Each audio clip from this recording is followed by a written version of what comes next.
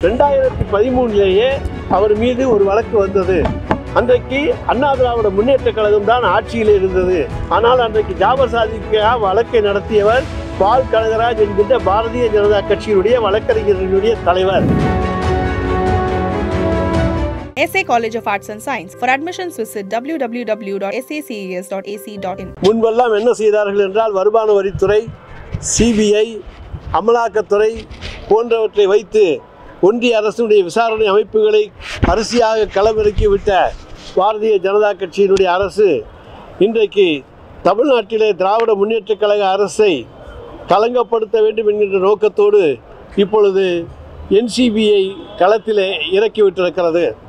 ஆனால் தமிழ்நாட்டிலே திராவிட முன்னேற்றக் கழக அரசு பொறுப்பேற்றதும் போதைப்பொருள் தடுப்பில் மேற்கொண்ட நீடி நடவடிக்கைகளை நீதிமன்றமும் பாராட்டியிருக்கிறது.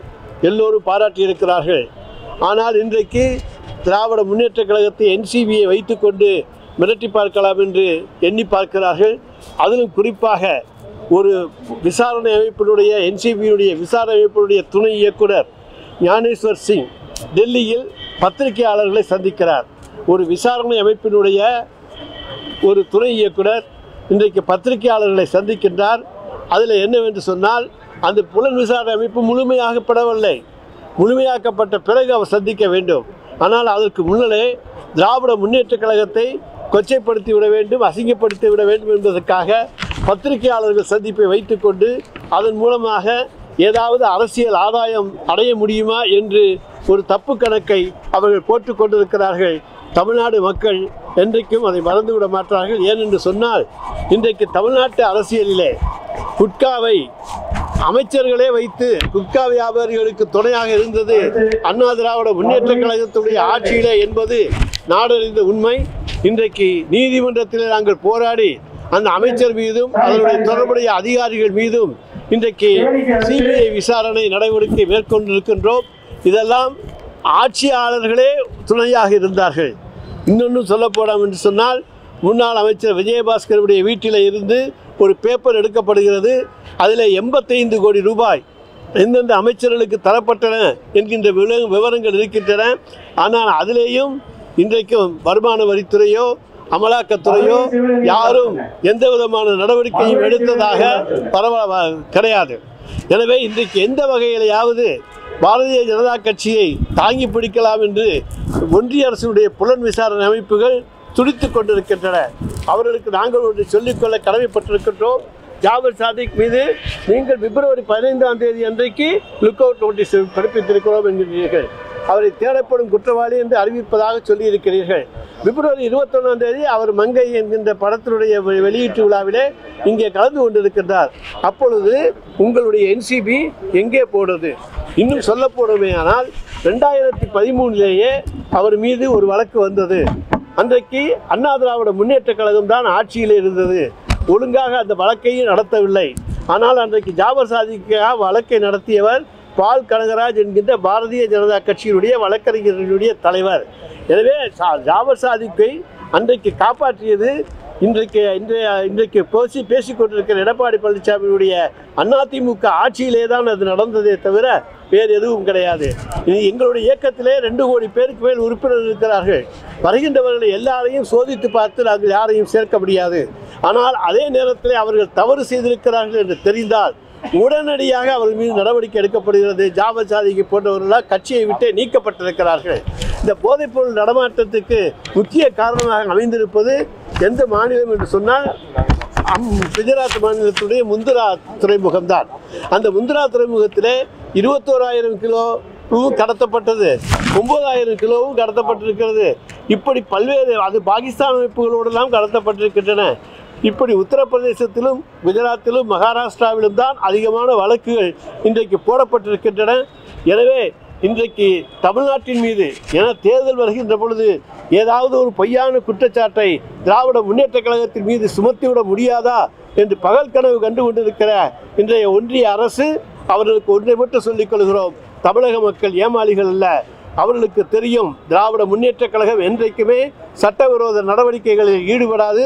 அதற்கு துணை போகின்றவர்கள் யாரையும் நாங்கள் வைத்துக்கொள்ள மாட்டோம் என்பதையும் இங்கே உறுதிபட கூறிக்கொள்கின்றேன் எனவே எங்கள் மீது பழிபோட நினைக்கின்றவர்களுக்கு ஒன்றை மட்டும் சொல்கிறோம். இதற்கெல்லாம் நீங்கள் தான் பொறுப்பாளிகளை தவிர உங்கள் ஆட்சியிலே தான் என்சிபி என்சிபி தான் இதற்கான முழு பொறுப்பு. ஆனால் அந்த என்சிபி இன்றைக்கு என்ன சொல்லுகிறது? இங்கே தமிழ்நாட்டில் இன்றைக்கு ஏதாவது பிடித்தார்களா? ஜாதிக்கு பற்றி சொல்லுகிற பொழுது அது டெல்லியிலேயும் வேறு மாநிலத்திலேயும் தான் அது பிடிக்கப்பட்டதை தவிர தமிழ்நாட்டிலே கிடையாது. எனவே தமிழ்நாட்டை பொறுத்த வரைக்கும் நாங்கள் போதைப்பொருள் நடமாட்டத்தை த முழுக்க முழுக்க தடுத்து வைத்திருக்கின்றோம். கஞ்சா பயிர் ஒரு சென்று கூட நடவடிக்கை நட நடப்படாத மாநிலமாக நோ க கல்டிவேஷன் கஞ்சா கல்டிவேஷனாக இருக்கக்கூடிய மாநிலமாக தமிழ்நாடு இருக்கிறது என்பது இன்றைக்கு உலகத்துக்கே தெரியும். எனவே அப்படிப்பட்ட இடத்தில் இருக்கக்கூடிய நாங்கள் நிச்சயமாக இங்கே போதைப்பொருள் நடமாட்டத்துக்கு உறுதுணையாக எந்த வகையிலும் இருக்க மாட்டோம். இன்றைக்கு தமிழ்நாட்டை அவமதிக்கும் செயலாக தமிழ்நாடு போதைப்பொருள் தலைநகரமாக மாறி இருக்கிறது என்று கூறி தமிழ்நாட்டையும் தமிழக மக்களையும் அவமதிக்க வேண்டும் என்பதற்காகவே அந்த பொய் பிரச்சாரத்திலே இன்றைக்கு ஈடுபட்டு கொண்டிருக்கிறார்கள். தமிழ்நாட்டை போன்ற வளர்ச்சியை எங்களுக்கு ஏன் ஏற்படுத்தவில்லை என்கிற கேள்வியை ஒன்றிய பாஜக அரசை நோக்கியும் பாஜக மாநில அரசுகளை நோக்கியும் வட இந்திய மக்கள் கேட்டுக்கொண்டிருக்கிறார்கள் எனவே தமிழ்நாட்டை போதைப் பொருளில் சிலைக்கும் மாநிலம் போல சித்தரித்தால்தான் தமிழ்நாட்டினுடைய வளர்ச்சி வட இந்தியாவில் பேசுபொருள் ஆகாது என்பதால் தான் பாஜகவினர் பொய் பிரச்சாரத்தில் ஈடுபட்டு வருகிறார்கள். இன்றைக்கு சொல்லப்போனால் பலர் இன்றைக்கு பாஜகவில் இருக்கக்கூடியவர்கள் இன்றைக்கு போதைப்பொருள் கடத்தலிலே அவர்கள் ஈடுபட்டு கொண்டு தான் இருக்கிறார்கள். அவர்களெல்லாம் பாஜகவில் சேர்ந்தவுடன் புனிதர்களாக மாறிவிட்டார்கள். ஜாபர் சாதிக்கோட கைது அரசியல் நடவடிக்கையா? இல்லைன்னா தேர்தல் நேரத்தில் கைது செய்யப்பட்டது அரசியல் நடவடிக்கையா? அதாவது கைது தேர்தல் நேரத்தில் நடந்தது எல்லாமே திராவிட முன்னேற்ற கழகத்தில் ஏன்னா இது முன்னாலே நடந்த ஒரு சம்பவம். எனவே தேர்தல் நேரத்திலே அதை கொண்டு வந்து திமுக மீது பழி போடலாம் என்று தப்பு கணக்கு போட்டார்கள். உடனடியாக நாங்கள் அவரை இயக்கத்தை விட்டு நீக்கிவிட்டோம். அவருக்கும் எங்களுக்கும் எந்த விதமான தொடர்பும் கிடையாது. அந்த தொடர்புகளெல்லாம் உள்ளவர்கள் அதிமுகவிலேயும் பாஜகவிலேயும் தான் இருக்கிறாங்க.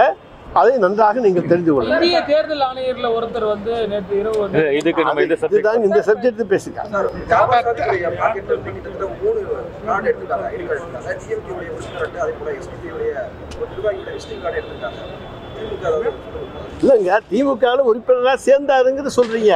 நாங்கள் தான் நீக்கிட்டோமே. உடனடியாக எங்களுடைய கவனத்துக்கு கொண்டு வரப்பட்ட உடன் அவர் கட்சியினுடைய அடிப்படை உறுப்பினர்ந்தே நீக்கப்பட்டார். சஸ்பெண்ட் செய்யப்படவில்லை நீக்கப்பட்டார்.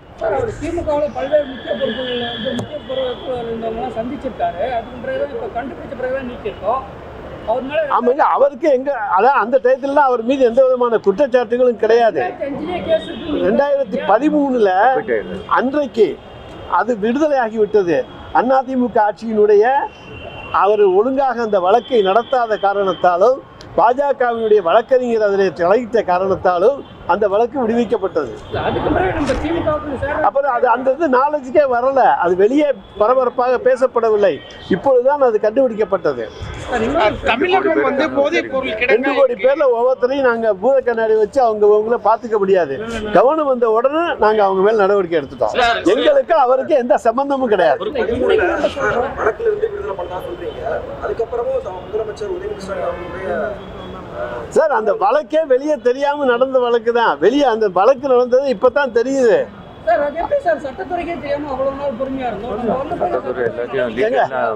ரெண்டாயிரத்தி பதிமூணு அதிமுக ஆட்சி.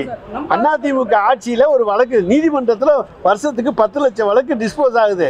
யார் யாரெல்லாம் குற்றவாளி யார் யாரெல்லாம் நிரபராதி விடுவிக்கப்பட்டாங்கன்னு நாங்க நீதிமன்றத்துடைய கணக்கு வழக்குகளை எடுத்து பார்க்க முடியாது. உளவுத்துறை எதுவும் சொல்லலையா சார்? ஒரு முக்கிய பொறுப்பு இருக்கு. அயலக அணியில ஒரு முக்கிய பொறுப்பு கொடுத்துருக்கீங்க அதாவது இரண்டு முறை வந்து அவர் இப்போ அவருக்கு கேஸ் இருக்கு இல்லைங்களா? போதைப் பொருள் அதாங்க இப்பதாங்க புது கேஸ் முன்னால பழைய கேஸ் அது விடுதலை ஆனுச்சு அது விடுதலை ஆனதுக்கு அதிமுகவும் பாஜகவும் தான் காரணமே தவிர நாங்கள் அல்ல.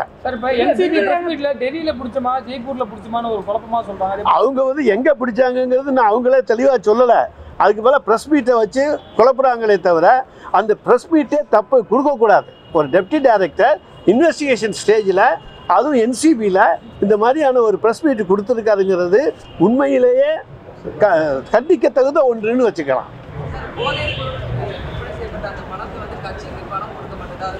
ஒரு பைசா கூட கட்சிக்கு தரப்படவில்லை. அது அவங்க ரெண்டாயிரத்தி பதிமூணு நாங்கள் கோட்டை விட்டுட்டோம்னு வேணால் கொண்டு போய் கொடுக்கலாம். எடப்பாடி பழனிசாமி நான் ரெண்டாயிரத்தி பதிமூணுல கோட்டை விட்டுட்டேன் கவனிக்க சரியா கவனிக்கல அப்படின்னு சொல்லுவாங்க. நாங்க எங்களை பொறுத்த வரைக்கும் சட்டபூர்வமான நடவடிக்கைகள் அனைத்தும் எடுக்கப்படும். நிச்சயமாக குற்றவாளிக்கு துணையாகவும் போக மாட்டோம் அவரை காப்பாற்றவும் மாட்டோம் அவருக்கு சட்டத்தின் முன் நிறுத்தி தண்டனை வாங்கி தருவோம். சார் அந்த பழைய கேஸ் திரும்பி நம்ம எடுத்து அரசாங்கம் நடத்த வாய்ப்பு இருக்கா? ரெண்டாயிரத்தி பதிமூணுல முடிஞ்சு போன கேஸ் அது என்சிபி அது மத்திய அரசினுடைய வழக்கு. அவங்க தான் அதை எடுத்து நடத்தணும். நாங்க இல்லை. என்சிபி என்பது மத்திய அரசு போடப்பட வழக்கு அவங்க போட்ட வழக்கு. இது அவங்க தான் திருப்பி எடுத்து நடத்தணும். இப்போ இருபது வருஷம் டிலே இப்போ பத்து வருஷம் பதினோரு வருஷம் ஆச்சுன்னு சொல்லி எடுத்து நடத்தணும்னா அவங்க தான் நடத்தணும் அவங்க விட்டுட்டாங்க. பல்வேறு பகுதியில் தொடர்ச்சியாக போதை சார் தமிழ்நாட்டில் எடுக்கலையே சார். தமிழ்நாட்டில் நாங்கள் போதைப்பொருள் நடமாட்டத்தை அனுமதிக்கவே இல்லையே. தமிழ்நாட்டில் எங்கேயும் எடுக்கலையே. வெளி மாநிலங்களில் தானே எடுக்கிறாங்க. வெளி மாநிலங்கள் எடுக்கிறதுக்கு அந்த மாநிலத்து அரசுகளும் மத்திய அரசு ஒன்றிய அரசு தான் நடவடிக்கை எடுக்கணும். நாங்கள் எப்படி எடுக்க முடியும்?